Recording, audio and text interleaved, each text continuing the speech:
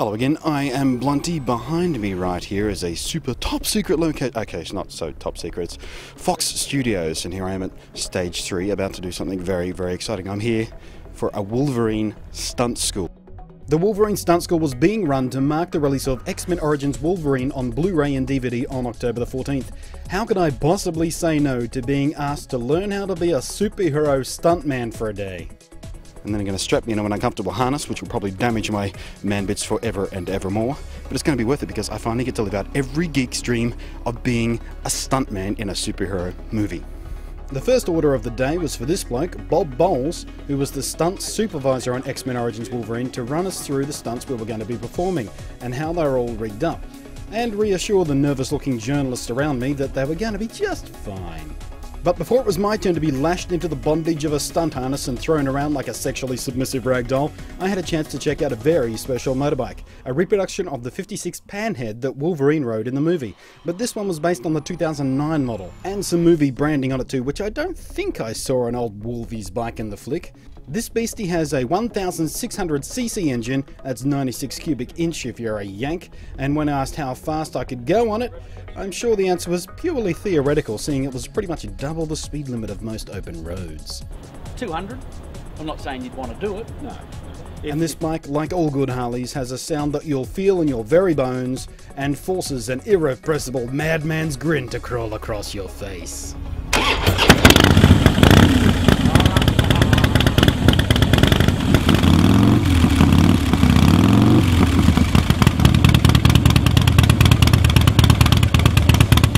After carefully avoiding damaging what was a very expensive ride, it was time to put my somewhat less valuable bodywork into a stun harness. Well, it, it's yeah. it's just more. Um, it's like a SWAT jacket or these buckles. Yeah. Tactical ops. This one's black. That white one up there looks sticky. Yeah, it, uh, believe it or not, though, they're, they're the uh, they're the good harnesses, the white ones. Don't, don't use words like good and bad harnesses. No, meaning that they've got um, th- they were designed for um, for Spider-Man.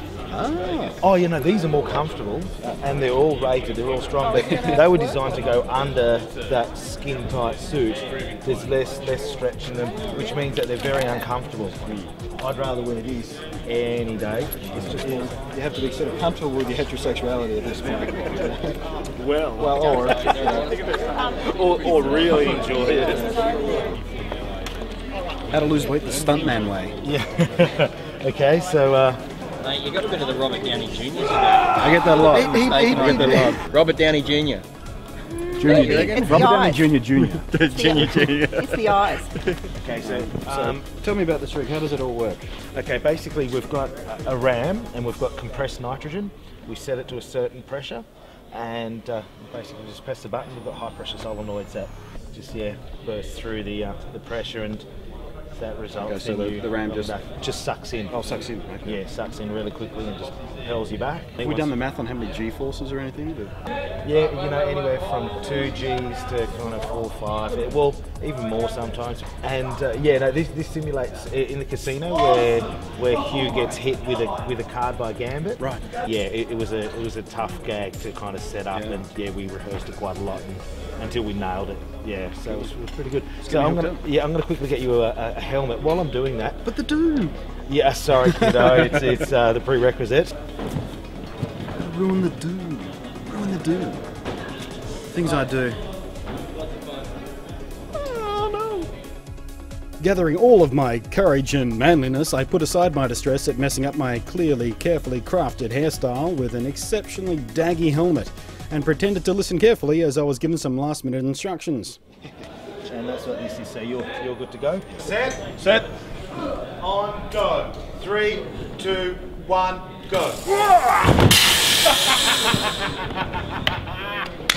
How did that feel? That's awesome. Okay, so do you want to do one more and I ramp it up a bit more? Let's go, let's go. Okay, wicked. Three, two, one, go. Ah! I. Groovy. Well done, kiddo.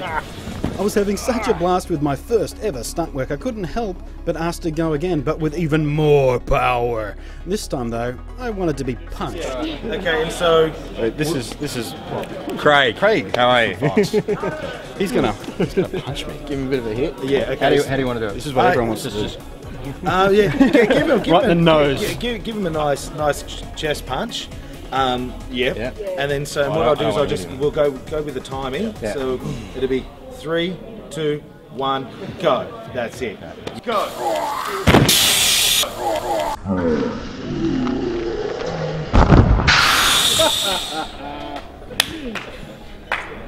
Splendid. How did that look? Fuzzy there. Next up was possibly the most daunting of all the stunts that day, the Descender drop. So your name is Brett. Brett. Okay, mate. What are we doing here? Ready to go? Well, this is a decelerator rig. So basically, you'll have a line on you, you'll step off, and you'll free fall up. And then we've got a decelerator machine here that'll pull you up and slowly decelerate you to the ground. So this is a, an air ram sort of system. an air ram, so basically it'll pull out, and we've got the valves set, and, and it's the air pressure that's going to slow it down. Right. So okay, okay. Yeah. How, how high is that? That's what. So we're at 10 meters 10 metres? now. Yeah, it looks a lot higher when you're up there. That's, yeah, but it's a it's a good like you you'll free fall, so it'll feel you just it's like you're just jumping off, and then it'll just pull you up It's like bungee without the spring. without the spring. Oh, exactly. Awesome. Let's Ready do to it. go? Let's do it. Against all Set natural then. impulses, I climbed the two flights of stairs to the platform 32 feet from the very solid concrete soundstage floor and the relatively small green X that marked where I'd need to land if I preferred my knees where they were, safely outside my own mouth. So here we go, heading up the stairs. Gonna do the free fall jump, the deceleration. Man, the adrenaline going like you wouldn't believe. This is gonna be sweet. And three, two, one, go.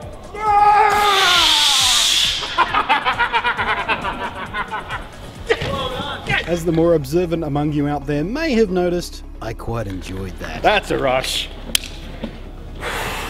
Oh, isn't that a rush? That's unreal! The sweeter you are, the bigger the rush.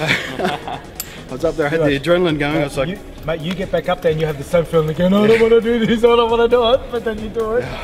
Fine. Well done. Takes a brave man to do that. I don't think. And purely for scientific purposes, I had to go again, just to see if the rush was just as big the second time. Oh man. I'm still coming down from that first jump. Yeah, man. Makes you feel alive. Bloody, I've done that. On go. And three, two, one, go. Oh damn, I love that! The answer is yes. Still fun. That was awesome. Well done. Thank you very much. so pumped still. I was pretty pepped up by that point. My brain was releasing all kinds of feel good chemicals. See if you can tell. On my way to the third and final stunt setup for the day, my helpful camera girl seemed a bit distracted. Hey. How are you going? Mr. Brave Man. Oh, we are very yeah, yeah. impressed, sir. we are you very like that one? impressed. that was awesome. Yes, no, mate, we are very impressed. You've. Uh, Did you scream much? Oh, it was a very manly roar. oh, manly roar, it- okay. it wasn't a scream, it was a roar. mate, we usually go, oh, mama! no, you did well, mate. we anyone that will, will, is willing to jump off there Yeah, I has mean- got our respect and admiration. So, tell me about this rig. What are we doing? This one is the Gambit rig, um, which is basically used in the movie to fly off the roof and land in the street just before the fight scene ensues. And uh, it's a long flight. Long. I suspected that the rush from this stunt wouldn't quite be as intense as the last one, but this type of flying leap stunt harness is exactly what I'd always wanted to have a go at. A superhuman rooftop leap. And three, two, one. And it was every bit as fun as I'd always hoped. Okay, Nick.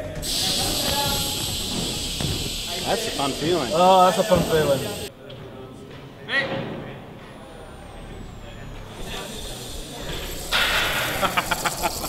Nick.